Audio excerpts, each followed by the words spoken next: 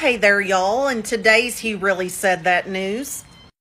Y'all, this diseased sea urchin is Carl Paladino. He's a Republican running for Congress in New York.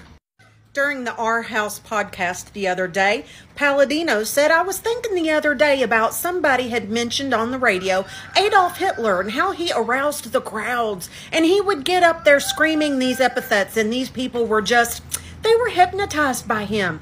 That's, I guess, I guess that's the kind of leader we need today. We need somebody inspirational. In the past, he also said that kids are being brainwashed to think that gay people are equal. Back in 2016, he also said that he hoped that President Obama would get mad cow disease and die, and also that First Lady Michelle Obama should return to being a male and let loose in the outback of Zimbabwe, where she lives comfortably in a cave with Maxie the gorilla. He also tweeted that Loretta Lynch should be lynched.